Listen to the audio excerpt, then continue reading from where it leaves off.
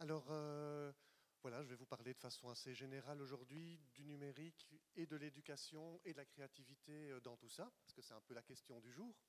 Et nous n'avions pas organisé les choses pour que euh, les WooClap puissent être combinés, mais il va aussi y avoir une utilisation de WooClap que j'avais prévue et organisée. Donc, je vais vous demander de bien vouloir vous déconnecter de votre session actuelle. Vous pourrez la reprendre en cours de route, ça ne pose aucun problème.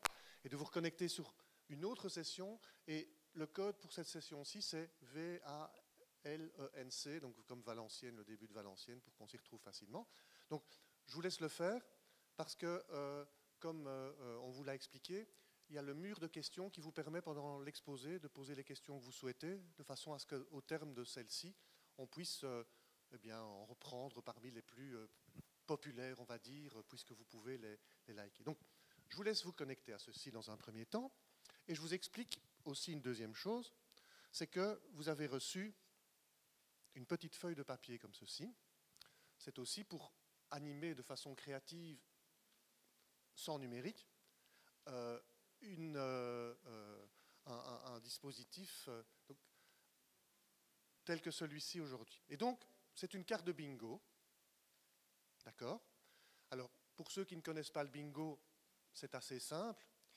Euh, vous avez un certain nombre de mots qui sont indiqués sur la feuille que vous avez. Chacun a une feuille différente. Euh, et vous allez devoir cocher ces mots au fur et à mesure de ma présentation. Ça veut dire que ces mots vont apparaître à un moment ou l'autre dans la présentation et que, en les cochant, à un moment donné, vous allez peut-être arriver à les aligner horizontalement les aligner verticalement ou les aligner de façon oblique. Et si quelqu'un, parce qu'évidemment il y a du hasard là-dedans, les, cartes ont été générées de façon euh, aléatoire, si vous alignez horizontalement, si vous alignez verticalement ou si vous alignez de façon en, euh, en diagonale, eh bien, vous criez bingo. Et pour les deux premiers bingo, il y a une petite surprise que j'ai amenée et donc une petite récompense concernant les deux premiers qui vont... Euh, alors évidemment, ceci est destiné d'une part à ce que ça vous interroge sur de quoi va-t-on parler pendant la conférence, puisque les mots sont bien sûr en lien avec la conférence, que donc ça permet de faire un peu cogiter a priori, et puis d'être attentif à puisque on doit, si on doit trouver les mots, ben forcément on doit être un peu attentif à ce qui est. Donc vous voyez, dans un auditoire, ça peut avoir une vertu de...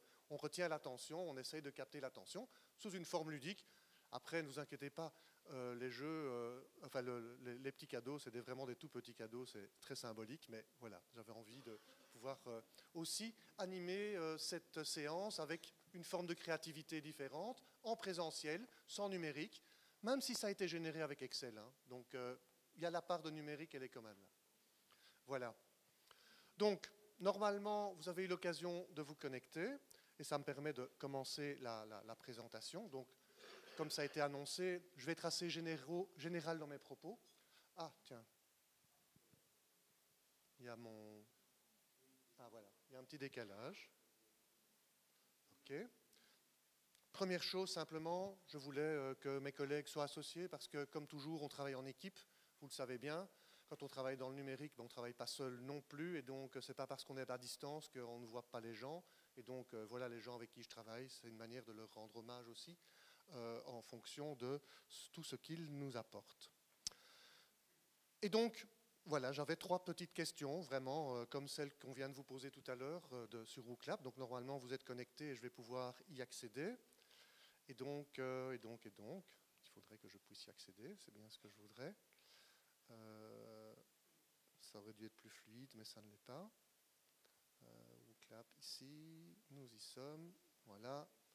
Première chose, juste pour un peu se préparer, est-ce que vous pouvez taper le nom de la ville dont vous provenez Simplement qu'on voit un peu d'où vous êtes originaire et de voir apparaître euh, sur cet écran euh, les origines de chacun. Ça permet d'un peu m'apprendre à ce que je vous connaisse, euh, simplement en déterminant un peu le public et voir qui vient d'où. Alors vous voyez que j'ai mis un petit... Ah, mais on voit rien du tout en fait. Pourquoi est-ce que mon écran n'est pas visible? On voit mon PowerPoint, mais on ne voit pas mais On voit pas mon clap. Que puis-je faire?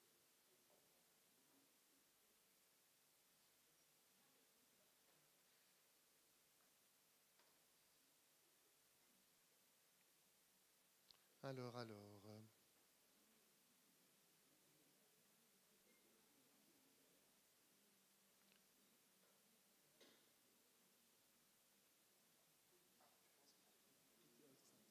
Ouais, ouais, c'était c'était- c'était ce qui était prévu. Voilà, enfin. Ok. Donc vous voyez, hein, pas de surprise d'où vous venez. Donc vous avez vu que j'ai mis un petit timer parce que ça permet aussi de limiter dans le temps euh, les votes. Donc ici, plus personne ne peut voter normalement. Donc on va passer à la deuxième question. Vous voyez que Paris, Lille et Aix-en-Provence sont les plus représentés. Après, vous vous y retrouverez facilement. Deuxième question. Le numérique dans notre société, une évolution, une révolution, une détérioration, rien de tout cela. Voilà, vous avez une petite minute trente pour répondre. Entre évolution et révolution, faites votre choix. Détérioration, bah oui, on en parlera alors. Bien sûr, c'est le but. C'est une manière de contextualiser ce, ce dont on parle aujourd'hui.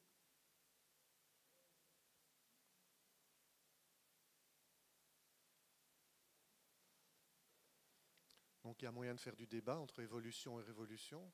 Mais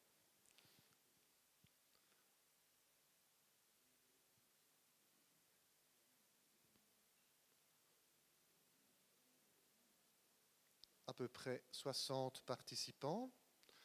Donc vous voyez ici, c'est quand même aussi une illustration que le numérique, ça permet de créer de l'interaction avec les gens, de créer de l'interaction dans l'auditoire. Et donc je pense que c'est ça aussi qu'il faut mettre en avant dans les pratiques numériques. C'est que le numérique, ce n'est pas que de la distance, ce n'est pas que, entre guillemets, du virtuel, c'est aussi de la présence et de l'activation de la dynamique en présence.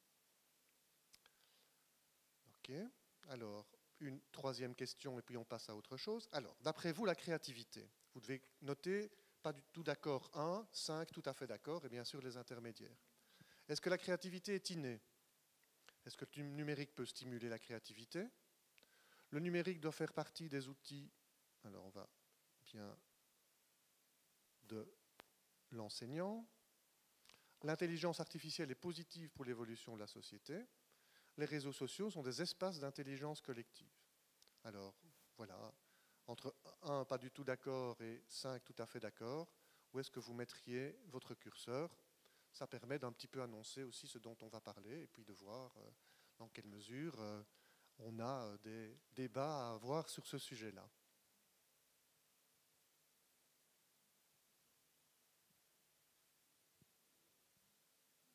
En tout cas, que ce soit des, des outils disponibles pour l'enseignant, je pense que vous êtes assez convaincus.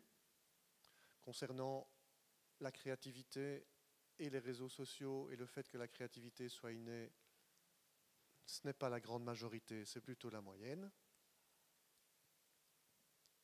La stimulation, la créativité grâce au numérique, ben, je crois qu'on en est plus ou moins convaincu, mais on sait bien que ça a des limites. Et donc c'est ce que reflètent vos avis.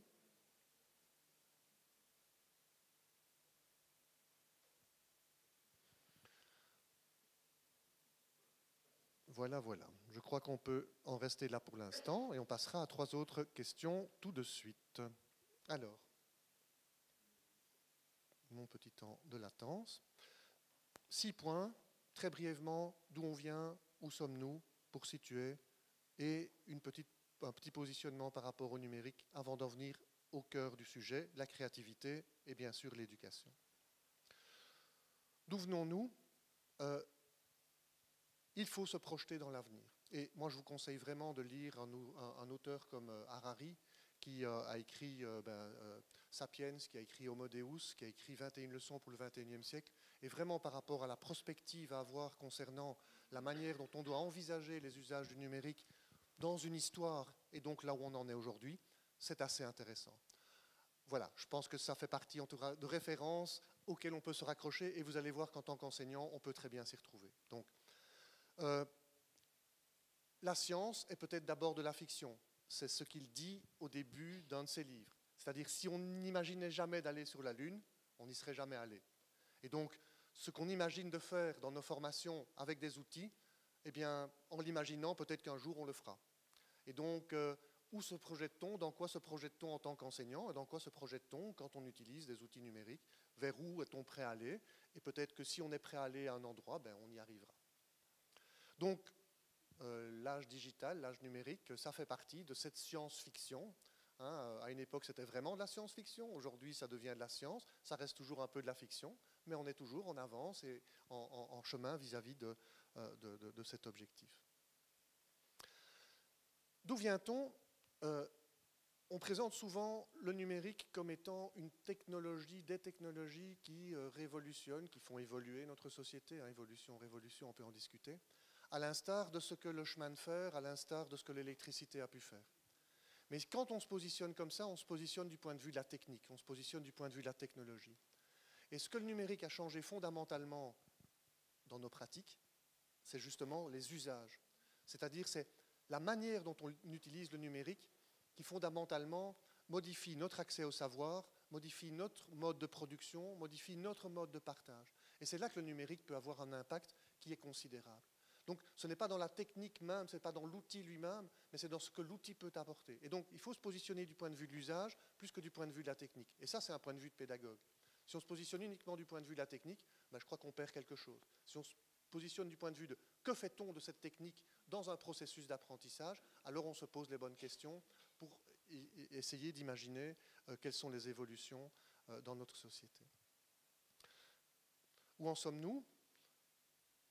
Dans ce téléphone, dans ce téléphone, il y a bien plus de puissance que dans l'ordinateur qui a envoyé les hommes sur la Lune.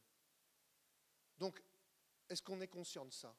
Et cette puissance, elle ne va jamais faire que euh, évoluer. Donc la fameuse loi de Moore que je ne vais pas vous rappeler, hein, mais qui est que le nombre de transistors euh, double tous les deux ans et que euh, non seulement c'est la taille qui diminue, mais c'est aussi la puissance qui augmente. Voilà. Donc c'est pour ça qu'aujourd'hui on a des, des outils comme ceux-là qui sont, qui sont aussi puissants. Et ça, on ne va pas revenir en arrière.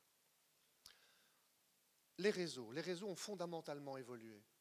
Euh, si vous regardez la partie plutôt de gauche, on a les réseaux de type centralisé, de type téléphonique. Le téléphone, on appelait une centrale.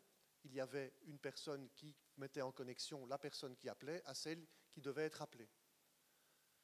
Ce qu'Internet a révolutionné, c'est cette possibilité d'avoir des réseaux complètement distribués. Ça veut dire que chaque machine est une centrale.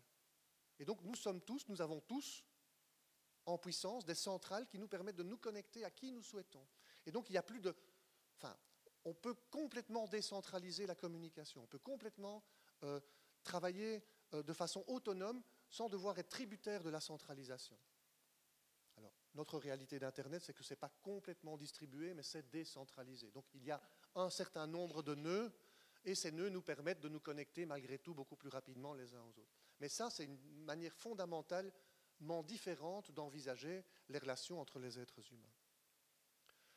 Les réseaux, on ne va pas y revenir, mais les réseaux sociaux aujourd'hui, euh, c'est considérable. Hein, quand on voit qu'il y a plus de 2 milliards d'utilisateurs de Facebook, même si on dit que Facebook est en perte de vitesse, enfin, c'est considérable. Après, quand on ajoute à ça Messenger, WhatsApp et Instagram, qui sont aussi Facebook, quand les gens disent je ne suis plus sur Facebook, je suis sur Instagram, tout le monde n'a pas conscience que Instagram, c'est Facebook. Donc aujourd'hui, ce sont des puissances phénoménales et des, flux euh, monumentaux. La fameuse intelligence artificielle qu'on a déjà pu évoquer. Alors, ce que tout le monde craint dans l'intelligence artificielle, c'est le stade 4. C'est cette intelligence artificielle qui aurait une autoconscience d'elle-même et qui pourrait être complètement autonome. Alors qu'en fait, aujourd'hui, on est dans une intelligence artificielle qui est très réactive. Ça veut dire que quand on lui présente un jeu de Go, un jeu d'échecs, elle peut jouer au jeu de Go, au jeu d'échecs. Mais l'intelligence artificielle qui joue au jeu de Go, elle ne sait pas piloter une voiture autonome. Elle joue au jeu de Go. Donc elle est très spécifique. Elle peut très bien faire une ou deux petites choses. Avec une évolution qui est le fait que quand on veut, quand on imagine ce qu'est la voiture autonome, évidemment, elle a à prendre un nombre de paramètres considérables qui font qu'elle est un peu plus évoluée, on va dire, que celle qui, entre guillemets, joue simplement au jeu de Go ou joue simplement euh, aux échecs. Après, il y a un troisième stade de l'intelligence artificielle qui se développe aujourd'hui, c'est celle qui est capable de détecter des émotions à partir euh, de, de votre photo, qui est capable de dire, tiens, le robot qui s'adresse à vous, tiens, tu es de mauvaise humeur aujourd'hui, il a entendu au ton de votre voix et à votre rictus que Donc on est quand même dans une forme d'évolution qui va vers ça. Mais l'intelligence artificielle autonome qui peut-être bien nous remplacerait, qui prendrait le pouvoir par rapport à l'être humain, on en est très très très très très loin. Donc n'ayons pas peur de ça, mais utilisons bien peut-être ce qui aujourd'hui peut nous aider dans le domaine de l'enseignement, parce qu'on verra que ça peut, nous aider. Évidemment, il y a les dérives de cette reconnaissance faciale. Hein. en Chine, on sait qu'aujourd'hui, un certain nombre d'individus sont notés euh, sur tout leur comportement et que leurs comportements qui sont notés leur permet ou non d'avoir accès, par exemple, à des prêts bancaires, à des assurances, à des... Enfin voilà. Donc il y a des risques, il y a des risques, mais, mais, mais voilà. Comment sommes-nous là aussi pour éduquer à ce que ces risques euh, ben, soient bien euh, contrôlés? Et puis de manière un peu plus évoluée encore, aujourd'hui, la combinaison de la biotechnologie, de l'informatique, des sciences cognitives fait que, oui, on peut, par exemple, quelqu'un qui est paralysé, lui associer un exosquelette qui va lui permettre de marcher alors qu'en fait, il n'a plus les muscles pour le faire. Mais c'est aussi ce qu'Elon Musk est occupé à étudier. Comment peut-on capter ou relier euh, le cerveau à un capteur, euh, on va dire, euh, particulier, qui va déterminer ce que le cerveau pourrait avoir besoin comme type d'information pour augmenter ses capacités? Et donc, demain, peut-être que nous aurons des individus augmentés par des outils numériques et qui les rendra, entre guillemets, plus intelligents. Donc, ce lien entre le bio et le technologique, où va-t-il s'arrêter? En termes éthiques, où, va-t-on?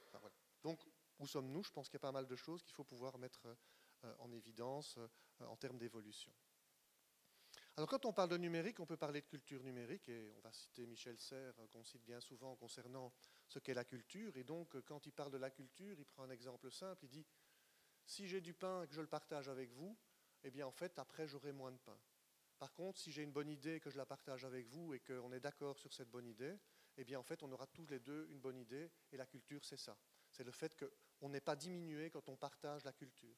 Par contre, euh, quand on marchande, quand on, est dans le monde marchand, eh bien en fait, euh, on, perd ce que l'on donne, alors que quand on est dans la culture, en fait, on échange et on partage à un niveau qui est un niveau équivalent.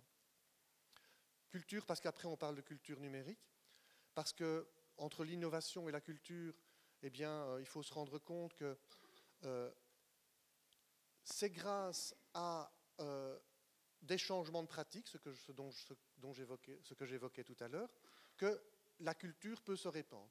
Alors on reprend l'exemple des usages de tout à l'heure. L'imprimerie est sans doute ce qui est le plus proche aujourd'hui de l'évolution relative au numérique. Quand Luther a d'une part, dans un premier temps, Bibles, la Bible dans une langue qui n'était pas la langue euh, habituelle, c'est-à-dire le latin, il a fait connaître la Bible à des gens qui, au départ, n'étaient pas censés la lire. Quand celle-ci a pu être imprimée en 300 000 exemplaires, il a permis à un certain nombre d'individus de s'emparer du pouvoir que gardaient pour eux les moines, les, religieux, qui ne voulaient pas partager ce pouvoir. Et ce qu'il faut comprendre, c'est que le fait d'avoir pu transmettre, pu partager, euh, à l'instar de ce qui se fait aujourd'hui avec Internet, eh bien, ça a changé les pratiques. Ça a changé les pratiques et ça a créé ce qu'on appelle la réforme protestante. On a pu s'opposer au pouvoir en place. Aujourd'hui, sans doute que les réseaux, sans doute que le numérique permet de s'opposer, permet d'avoir un avis différent du pouvoir en place.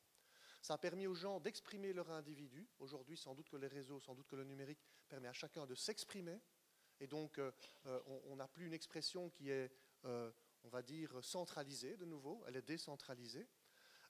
et, et, un marché s'est développé autour de l'imprimerie, c'est-à-dire que des livres ont pu être vendus. Et aujourd'hui, bah, des outils numériques peuvent être vendus pour diffuser tous ces éléments relatifs à la diffusion de la culture. Et donc, si on veut comparer l'évolution du numérique aujourd'hui, c'est sans doute à l'imprimerie qu'il faut le comparer et aux effets que l'imprimerie ont pu avoir dans un contexte euh, historique. Donc, aussi bien l'imprimerie que le numérique, euh, il faut les considérer comme des amplificateurs de la vie des individus. Et donc ça transforme intellectuellement, ça transforme économiquement, ça transforme socialement ce que les individus euh, sont amenés à faire. Et c'est ça en fait la richesse du numérique aujourd'hui, c'est que aujourd'hui le savoir il est partout. Aujourd'hui, on peut échanger avec tout un chacun, on peut acheter sur des plateformes en ligne. Alors c'est bien, question, c'est sûr. On peut échanger avec n'importe qui et garder dans un réseau euh, des liens avec des individus. Et donc, je pense que par rapport à ces, informations-là, si vous voulez aussi... Euh, magnifique. Bravo. Donc, vous êtes le premier. Vous aurez le premier cadeau, ce sera celui-ci. Je le présenterai après. D'accord? Donc, j'attends un deuxième, vainqueur.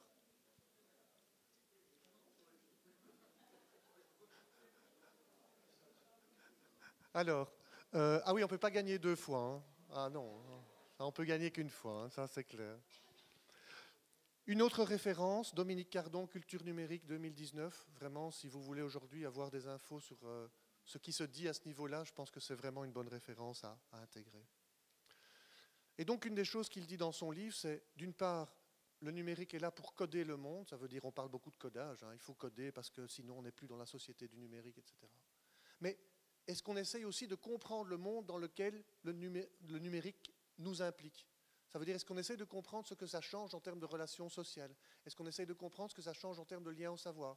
Est-ce qu'on essaye de comprendre ce que ça change en termes de liens, euh, en termes de marchandisation d'un certain nombre d'éléments Voilà. Et c'est ça, évidemment, une part de notre travail d'éducateur. C'est ne pas simplement s'intéresser au numérique parce que ça va nous permettre de coder, d'informatiser, de, numériser, mais aussi parce que ça change les pratiques, les usages, et donc les usages des enseignants, des, élèves, euh, des parents. Le numérique est partout, je ne vais pas vous faire un dessin, hein. à peu près toutes les populations sont concernées, et ça je peux passer rapidement. Toutes les sphères de la société, aujourd'hui on a de la robotisation dans des euh, systèmes euh, qui sont aussi variés que l'agriculture, que euh, la cuisine, qu'il euh, y a des pizzas qui sont automatiques, euh, des, pizzerias qui sont automatiques. Il n'y a plus de pizzaiolo, vous mettez vos ingrédients, vous avez la pizza qui sort. Enfin bon. Aujourd'hui, la robotisation, elle existe des, à des niveaux qu'on ne soupçonne peut-être même pas. Tous les âges sont concernés, toutes les populations. Aujourd'hui, les personnes âgées font partie des personnes bien et très connectées. Et donc, je crois aussi que c'est important dans l'évolution de la société qui n'est pas rajeunissante en Europe de tenir compte de ces effets-là. Numérique, remède et poison. Dans toute technologie, deux tendances opposées. Une bonne positive, émancipatrice, l'autre négative, prédatrice. C'est Stigler qui a dit ça. Donc il faut aller au-delà d'un déterminisme simple. Il ne faut pas dire, eh bien vous êtes voisins, bravo, Très bien, mais vous, avez le deuxième, vous aurez le deuxième cadeau, je pourrais le remettre aux deux voisins qui sont là. Bon, désolé pour les autres qui pourront, peuvent continuer à jouer s'ils veulent, mais j'ai plus, de, plus de cadeaux après, donc euh, je devrais me limiter aux deux que, je fournirai à la fin. Et donc, euh, voilà, un, de mes propos, c'est il ne faut pas se focaliser sur uniquement les dangers ou uniquement les bienfaits. Enfin, tout à l'heure, je disais euh, à des collègues, ce qui compte avec le numérique, c'est aussi de faire du présentiel. Ce qui compte, c'est de montrer comment on peut faire autre chose de créatif en présentiel et pas qu'avec le numérique. Et donc c'est tout ça, c'est cette intégration qui me paraît intéressante. Ce n'est pas le fait de vouloir se focaliser sur un seul de ces aspects, positifs ou négatifs. La créativité, c'est un schéma que je vous ai présenté en 2017, donc je ne vais pas y revenir, mais c'était pour dire qu'on avait parlé d'innovation, mais que la créativité fait partie de ce schéma. Comment situe-t-on la créativité par rapport à l'innovation? Alors, l'innovation, c'est le fait qu'à un moment donné, quelque chose qui a été mis sur le marché, on va dire, se répand. Ça, c'est l'innovation. Une innovation, elle, elle, doit aboutir à quelque chose de concret. Elle doit pouvoir euh, être diffusée auprès des gens. Et puis, si elle est fort diffusée, à un moment donné, c'est plus une innovation. Donc en fait, il faut réinnover, donc il faut à nouveau être créatif avant qu'une nouvelle innovation puisse apparaître. Mais la créativité, c'est l'idée de départ, c'est l'idée nouvelle. Alors après, comment la définir? Franchement, c'est très compliqué parce que j'ai vraiment cherché, et là où j'ai cherché, ce n'était pas du tout évident. Et j'ai euh, trouvé qu'il y, a un bouquin en tout cas qui, parle des 101 définitions de la créativité. Donc vous voyez, euh, peut lire tout ça et puis évidemment on va, bien se rendre compte qu'on n'est pas d'accord. Et donc, euh, une manière dont Wikipédia qui est ici ma référence, euh, pas ultime, hein, mais je veux dire les références que j'utilise, euh, met en avant que si on veut essayer de définir la créativité, on peut la définir de trois manières différentes. Et en fait, c'est une espèce de gradation dans ce qu'elle peut être. Alors, la manière la plus générale, c'est que c'est un trait de personnalité, comme l'intelligence. C'est quelque chose qui, fait partie de l'individu, qui a une forme d'intelligence et qui est euh, cette créativité. C'est très très général. Ensuite, on a une deuxième manière d'envisager ce que peut être la créativité, c'est cette créativité spontanée que peuvent avoir les artistes. C'est-à-dire les artistes, ils ont une espèce de, je ne sais pas comment il faut le dire, je ne suis pas très artiste moi-même, mais ils ont une idée, une illumination, ont il y a quelque chose qui, qu'ils ont envie de, mettre en place, de développer, de, construire, de dessiner, de, chanter. Et donc ça, c'est une créativité qui, vient, qui est, spontanée.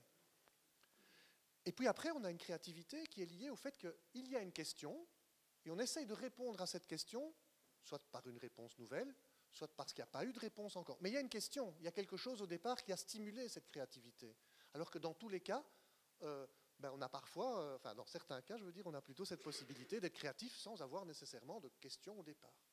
Et donc là, on est dans du spécifique. Et donc, voilà, ce, qui ressort au niveau des définitions de la créativité, c'est que d'abord, euh, il y en a plein, donc c'est très compliqué de se dire euh, qu'est-ce qu'être créatif.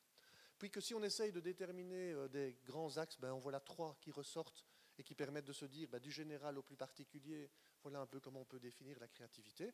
Alors bien sûr, il y a, par rapport à cette notion de créativité pas mal euh, de, discussions qui peuvent être menées, de modélisations qui peuvent être faites. J'en ai trouvé un qui me paraît assez intéressant, qui est euh, un modèle qui a été euh, réalisé par une Canadienne qui s'appelle Filto, j'ai oublié son, prénom, et qui en fait définit la créativité comme étant centrale et les différents éléments qui interviennent pour expliquer la créativité. C'est-à-dire que ça dépend de la personne, ça dépend du processus, ça dépend de ce qu'elle va produire en termes de créativité, ça dépend de l'environnement dans lequel cette personne se trouve, euh, ça dépend du, du, temps qu'elle a pour être créative. Et donc, ici, on n'est pas dans une explication de la créativité, mais plutôt dans les variables qui peuvent intervenir pour expliquer que des personnes sont créatives dans des contextes spécifiques.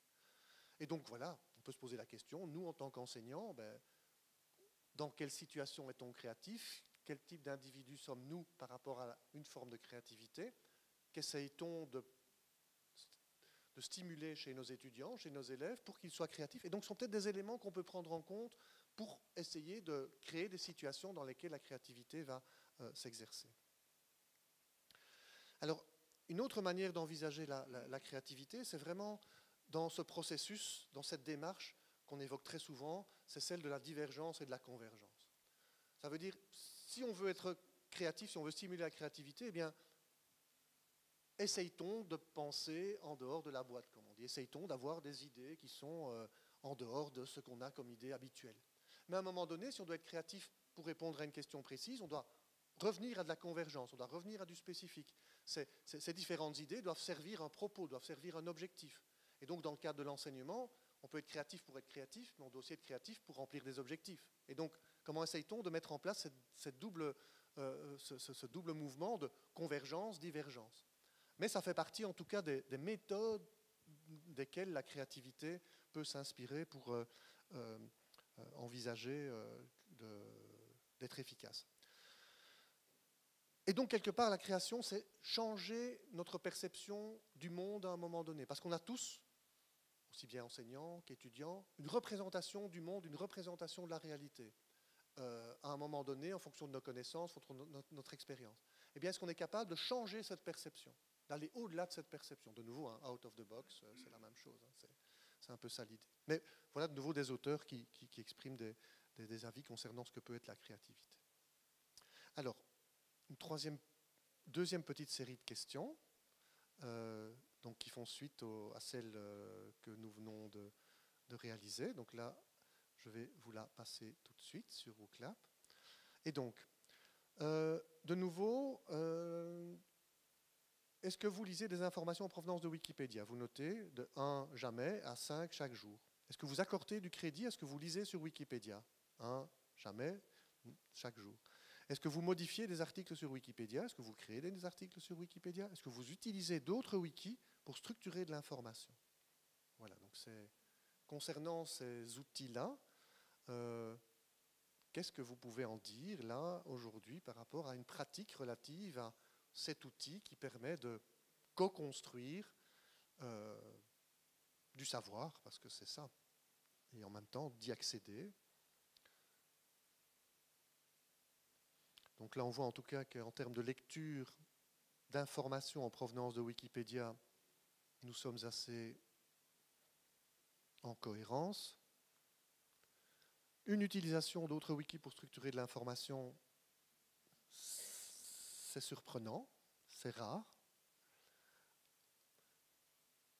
La modification des articles et la création de nouveaux articles, c'est logique, c'est souvent euh, ce qui est documenté en tout cas, et donc euh, vous confirmez ce qui peut être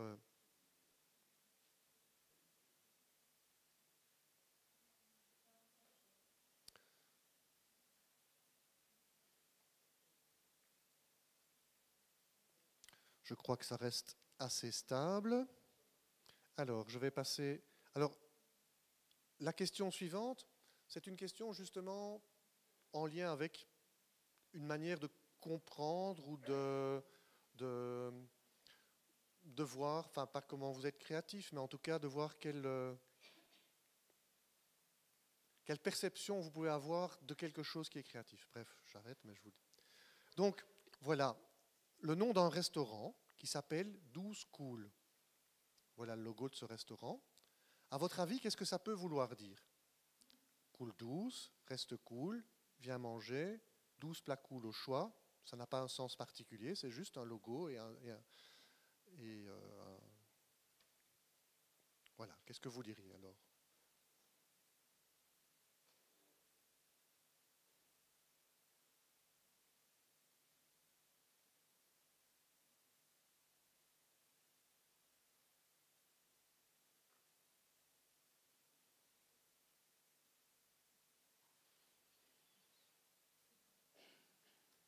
Alors 12 plats cool au choix a l'air de recueillir... Euh, on va bien manger, hein 12 plats cool.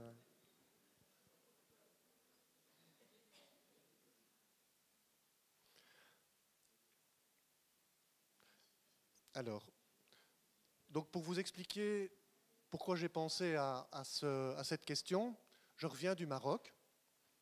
Est-ce qu'il y a quelqu'un est-ce qu'il y a quelqu'un ici qui est d'origine marocaine ou euh, qui comprend l'arabe Et vous avez répondu Viens manger. Vous pouvez expliquer? Voilà. Voilà. Donc, en fait, pour, comprendre le sens de, euh, euh, de, ce, de ce logo, il faut avoir des connaissances en français, des connaissances en anglais, des connaissances en arabe, sinon on ne peut pas comprendre que 12 cool, ça veut dire viens manger. Et donc, en termes de créativité par rapport au logo, la personne qui a dû inventer ça a dû se dire, tiens, qu'est-ce qu'on pourrait mettre? Et donc, enfin, vous, voyez le schéma parfois qu'il faut faire pour euh, justement arriver à créer quelque chose de créatif que personne d'autre ne peut comprendre s'il n'a ces trois cultures. Et donc, la créativité est aussi une question de culture parce que sans, la culture, on n'arrive pas ni à créer, ni à se faire comprendre, enfin, ni à faire comprendre ce qu'on a créé. Voilà. Alors, Dernière petite question. Alors ici, c'est une question pour les matheux. Donc, euh, vous allez voir qu'il y a un petit score à devoir respecter en termes de timing. Donc, euh, je vous pose la question. Une batte de baseball et une balle coûtent 110 euros. La batte coûte 100 euros de plus que la balle. Combien coûte la balle? Alors, vous répondez sans tricher.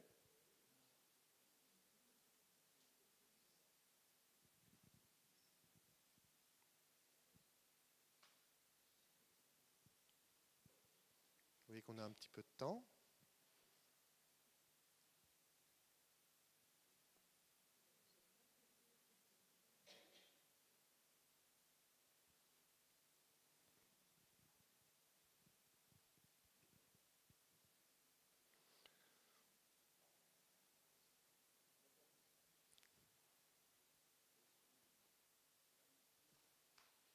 A du temps. Hein. Normalement, on doit répondre plus vite. Alors, cette question a été posée aux étudiants de Harvard et 80% d'entre eux se sont trompés.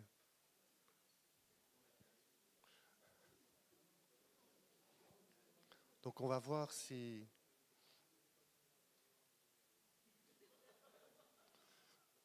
Dans 20 secondes, nous découvrirons la réponse à cette question.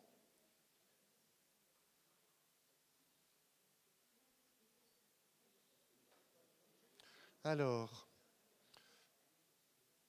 euh, pardon.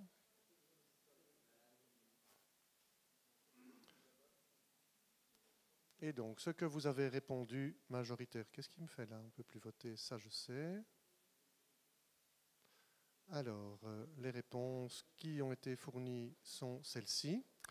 Alors, on voit apparaître majoritairement 10. Et la bonne réponse, c'est 5. 5 euros pour la balle, plus 100 euros, 105, 105 plus 5, 110. D'accord? Je vais revenir sur pourquoi cette question et qu'est-ce que ça peut avoir à voir avec la créativité.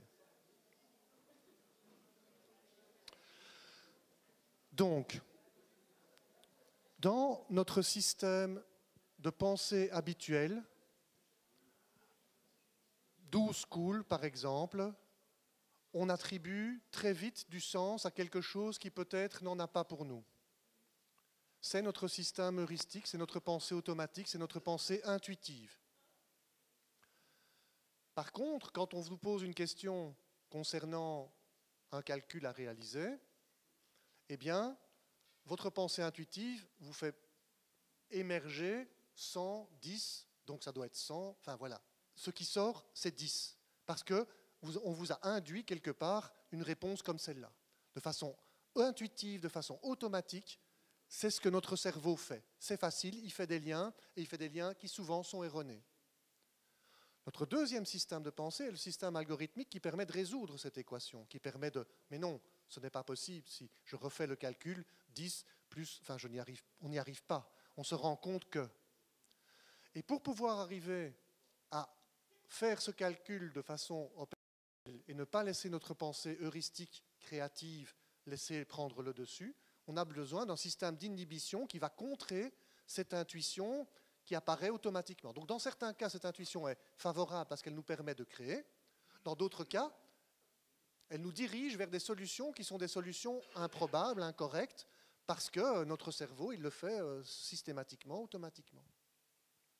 Et donc, on a à comprendre que notre cerveau fonctionne de manière différente pour savoir aussi comment chez nos élèves, chez nos étudiants, on doit pouvoir, d'une part, activer la pensée créative quand c'est nécessaire, mais aussi, parfois, quand il y a des liens trop simples qui sont réalisés par eux, eh bien, dans quelle mesure est-ce qu'on les développe leur esprit critique? Est-ce qu'on les fait réfléchir à la procédure? Est-ce qu'on les fait se repencher sur ce qu'ils doivent faire, etc.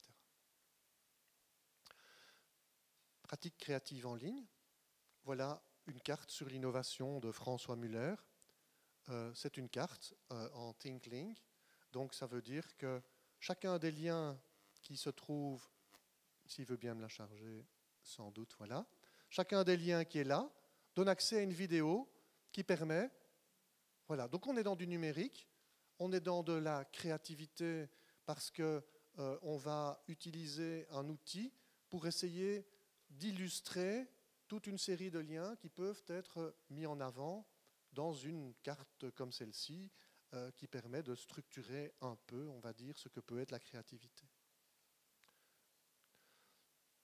En termes de pratique créative en ligne, aujourd'hui, il faut se rendre compte qu'il y a un paradigme qui a changé. Avant, on communiquait essentiellement par du texte. Aujourd'hui, on communique essentiellement par de l'image. Ça, c'est quelque. Enfin, si Instagram prend le pas sur Facebook, c'est parce qu'on parle d'abord aujourd'hui avec de l'image et pas nécessairement avec du texte. On prend l'image et puis on écrit un texte. Avant, on écrivait un texte et on illustrait notre texte. Et donc, dans les pratiques créatives d'aujourd'hui, est-ce que nous utilisons ce, mode d'utilisation, est-ce que nous utilisons ces images pour euh, aller vers cette forme de créativité qui est aujourd'hui de plus en plus répandue? Les outils de production sont de plus en plus accessibles, c'est une explication. Hein, euh, une preuve euh, de cette abondance de photos, en 2017, sur Facebook, 73 milliards de photos. En 2017. Enfin, c'est inimaginable même. donc voir le chiffre déjà. La photo devient une technique conversationnelle, l'image devient une technique conversationnelle. Aujourd'hui, on communique grâce à l'image. On est sans doute aussi créatif grâce à l'image. Et une image, ben, elle est aussi interprétable et donc elle n'est peut-être pas aussi explicite que ne pourrait l'être un texte. Et donc, quelles interprétations va-t-on donner à une image que l'on présente, que l'on voit? Et donc, qu'est-ce que ça peut avoir comme. Euh, qu'est-ce que ça peut créer comme difficulté dans l'esprit de celui qui apprend? Dans les pratiques créatives en ligne, on a des pratiques créatives euh, très innovantes. Ah tiens, j'ai plus le son. J'ai reperdu le son, mais ce n'est pas grave. Donc, ce qui est illustré ici, c'est le fait que euh, le tableau que vous voyez là, qui est un tableau de Rembrandt, je le prononce à la belge, hein, euh, a été complètement reconstruit à partir d'autres tableaux de Rembrandt. Mais réellement reconstruit. Ça veut dire qu'on a pris en considération toutes les caractéristiques que Rembrandt utilisait dans ses tableaux et dans ses visages pour les reconstruire avec une imprimante 3D qui a reconstitué les textures et, le dessin pour que nous en arrivions à un nouveau Rembrandt qui n'a pas été fait par Rembrandt, mais à la mode de Rembrandt. Et donc, en termes de créativité, aujourd'hui, on peut reproduire, construire, créer des nouvelles œuvres à partir des œuvres anciennes. Alors de nouveau, c'est un bien, c'est un mal. Moi, j'ai un avis personnel là-dessus, mais je pense qu'on peut tous avoir beaucoup de discussions par rapport à ça. Euh, euh, aujourd'hui, on peut créer des, euh, des, nouvelles chansons à partir. Bon, il y a des chansons des Beatles qui ont été euh, recréées à partir des anciennes chansons des Beatles. Donc on peut réutiliser ces techniques d'intelligence artificielle pour aller puiser des informations qui sont récurrentes et en faire quelque chose de nouveau, des nouvelles mélodies, etc. En, termes classiques aussi, il y a eu des, opéras classiques qui ont été créés à partir euh, d'opéras anciens. Donc voilà une illustration euh, de ce que peut créer aujourd'hui la technologie. Alors la question qu'il faut se poser par rapport à ça, c'est euh, en termes d'art, de créativité et de culture, qu'est-ce que ça développe comme compétence Et de nouveau, par rapport à ce que le numérique développe, que peut-on en dire? Dans un premier temps, ce qu'on peut dire, c'est qu'il y a des techniques particulières qui sont développées, des techniques artistiques qui sont développées au niveau du numérique. On a des outils numériques, on a, euh, on a Adobe, on a Photoshop, on a des outils numériques qui nous permettent de faire de l'art c'est de la technique. Après, encore faut-il faire de l'art. Si je vous donne Photoshop, si je vous donne une tablette graphique, êtes-vous capable de dessiner quelque chose qui est de l'ordre de ce poisson, euh, pour moi très joli euh, Voilà, il faut encore arriver à utiliser ces outils pour en faire quelque chose de créatif. Donc il faut avoir arrivé à une production qui va être originale avec ces outils-là. Juste les outils, on voit bien, ça ne sert à rien, ce sont les usages. Après, on peut se poser des questions sur c'est l'objet d'un colloque, le, livre qui est là. L'art a-t-il besoin du numérique? Il y a des colloques qui portent sur ces sujets-là. On peut s'interroger sur le lien entre art et numérique, et donc on crée du savoir sur le lien entre art et numérique. Donc ce que j'évoquais tout à l'heure concernant la technique et les usages, on le retrouve ici, au niveau de la créativité. On a la technique qui peut stimuler la créativité, mais se pose-t-on la question des usages Se pose-t-on la question des liens sociaux que ça modifie, que ça transforme Se pose-t-on la question des savoirs nouveaux que ça génère C'est ce qu'il faut faire sûrement, et bien plus se préoccuper des usages que se préoccuper uniquement de la technique. La technique est là au service de. En termes de pratique, on peut prendre un autre exemple qui est celui du langage. parce que j'ai pas mal d'exemples, mais je ne vais pas tous, les prendre évidemment, je vais regarder un peu quelle est, quelle est l'heure les nouveaux, entre guillemets, langages, nouvelles manières de communiquer, langage SMS. Hein, euh, il y a des petits livres, euh, communiquer avec maman. Euh, tu fais comment les accents? Tu restes appuyé sur la lettre sur laquelle tu veux mettre un accent, tu sélectionnes celle que tu souhaites et tu lâches. Et, tu lâches. Mais aujourd'hui, le langage, c'est plus que ça, évidemment. C'est on peut, Twitter, on peut l'utiliser pour communiquer, pour échanger, mais des profs de français utilisent Twitter pour faire des haïkus, utilisent Twitter pour faire des tweetés. Il y a des communautés de tweetés en France qui rassemblent plus de 500 écoles. Donc on a détourné un outil technique pour en faire quelque chose relatif au savoir. Et donc, quelles questions se pose-t-on comme enseignant quand on a un outil technologique pour voir dans quelle mesure il peut servir nos objectifs pédagogiques?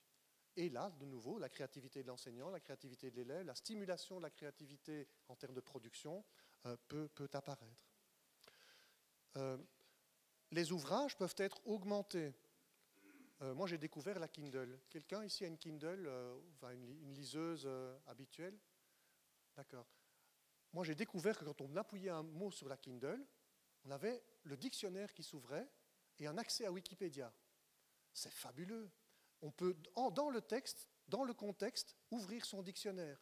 Enfin, dans un livre classique, on ne peut pas faire. C'est ça l'augmentation. C'est le numérique nous permet de faire quelque chose de plus, qui peut être très pédagogique, qui, a un intérêt. Et moi, qui suis un grand lecteur, j'ai l'impression de connaître pas mal de mots de vocabulaire, je me surprends à pousser sur des mots en me disant, tiens, mais qu'est-ce que ça veut dire? Et donc je crois que proposer ça à nos élèves, à nos étudiants, dans d'autres contextes, hein, des contextes de cours, de, documents euh, pédagogiques, que leur offre-t-on que le numérique peut apporter comme forme de plus-value?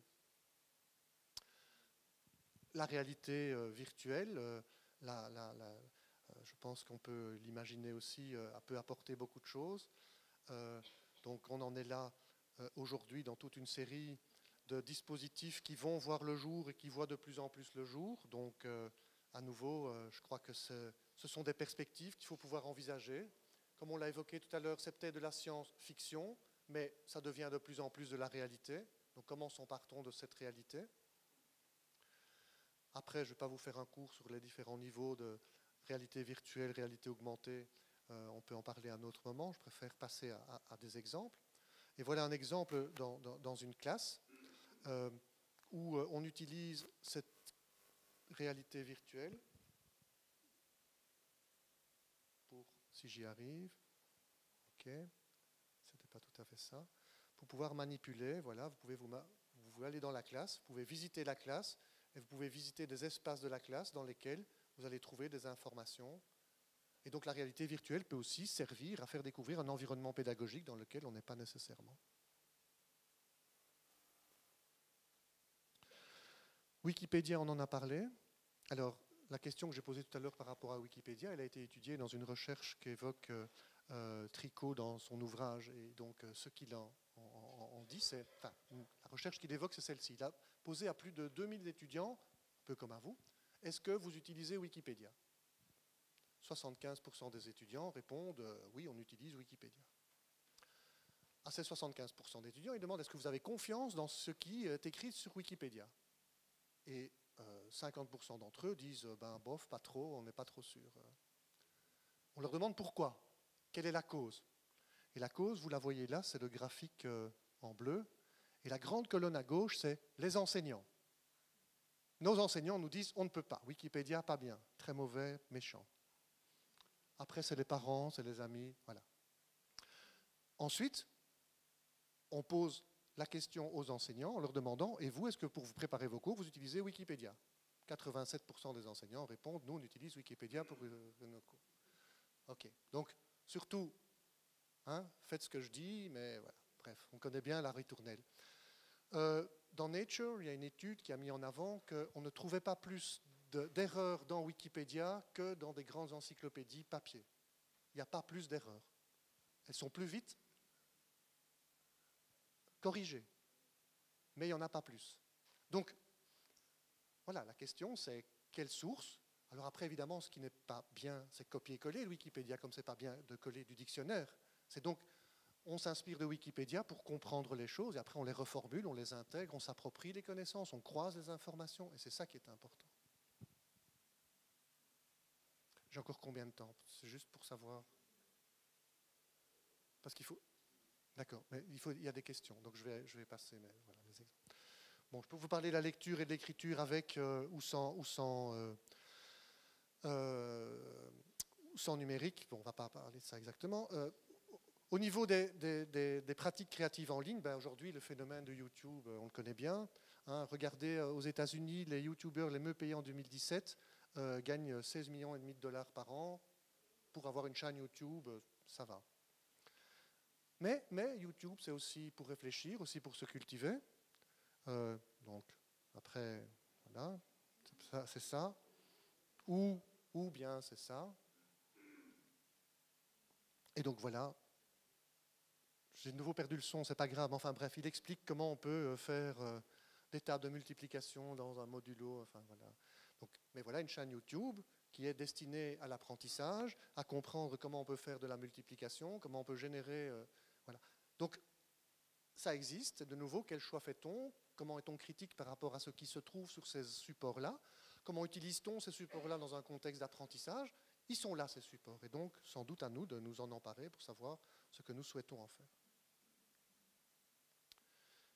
L'éducation, première question, les compétences numériques. J'ai vu qu'il y avait un atelier PIX. Ben, l'atelier PIX, ça correspond bien à cette question d'aujourd'hui, quelles sont les compétences numériques à développer chez les élèves, chez les enseignants. Chez nous, pour la première fois en communauté française de Belgique, il va y avoir un référentiel de compétences numériques, première fois. Donc, euh, c'est pas encore formidable, c'est pas encore. Mais voilà, ça a le mérite d'exister et ça va être écrit pour la première fois que les élèves de 3 à 15 ans doivent développer des compétences numériques. Ça ne veut pas dire coder, hein. ça veut dire aussi l'éthique, ça veut dire aussi produire avec des outils, ça veut dire aussi l'esprit critique, ça veut dire plein de choses. Il y a 22 sous-compétences derrière les compétences numériques génériques, on va dire.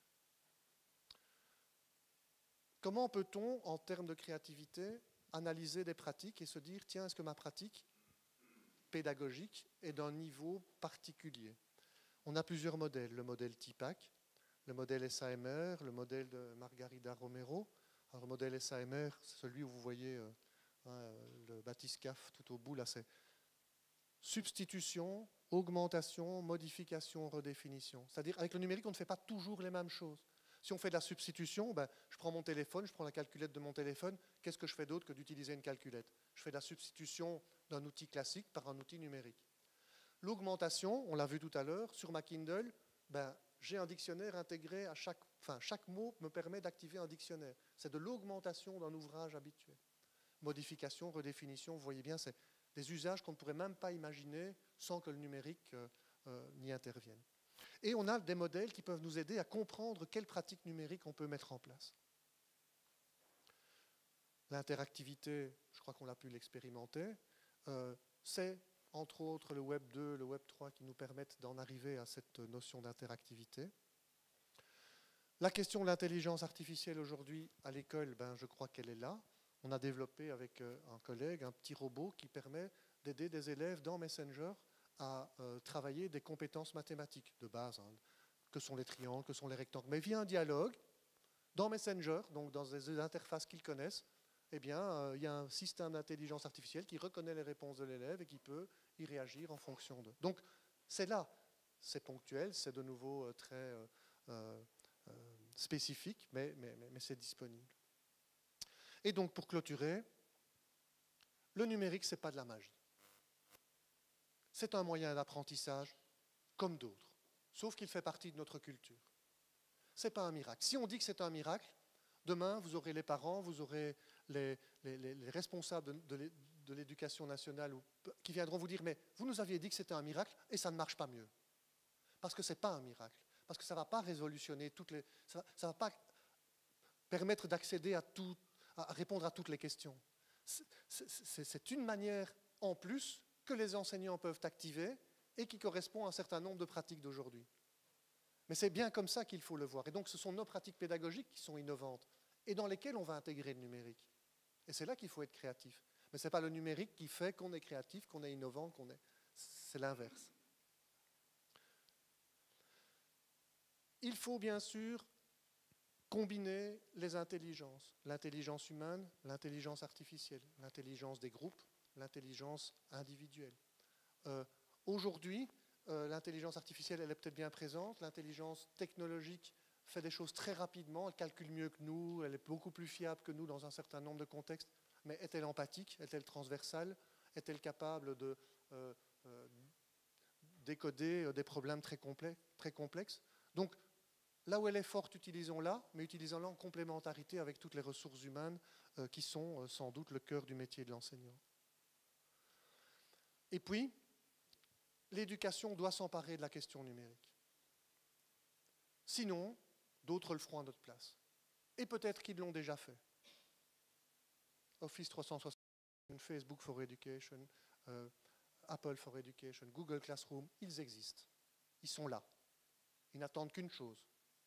Et donc nous, comment nous empartons déjà de ces outils-là pour pouvoir en faire quelque chose qui peut servir dans nos classes?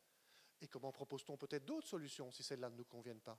Mais c'est à nous, en tant qu'enseignants, en tant que euh, euh, monde et responsable de l'enseignement, qu'il va falloir prendre ces éléments-là en considération pour pouvoir demain eh apporter à nos élèves, apporter au monde de l'éducation ce qu'on souhaite qu'ils puissent recevoir. Je vais prendre cette citation pour clôturer, qui est celle de Douglas. J'ai oublié son, son nom de famille. Douglas. Ah, zut. Comment? Engelbart, oui, c'est ça. Excusez-moi, j'ai juste euh, perdu le. Donc, Douglas Engelbart, il a inventé la souris, il a inventé le copier-coller, il a inventé la visioconférence, il a inventé euh, plein de choses. Et en gros, c'est pas lui qu'on connaît le plus. Mais il s'est fait un petit peu piquer ses idées. Mais il y a quelque chose qu'il dit et que je voudrais dire ici en clôture c'est la technologie ne doit pas et ne remplacera sans doute pas les humains, mais elle doit augmenter leur capacité euh, humaine en tant que telle. Et donc c'est sur la capacité humaine qu'il faut capitaliser, et la technologie ne sera, selon moi, que là pour augmenter tout ça et faire de nous des êtres encore sans doute plus humains, c'est bien ce que j'espère. Voilà, merci.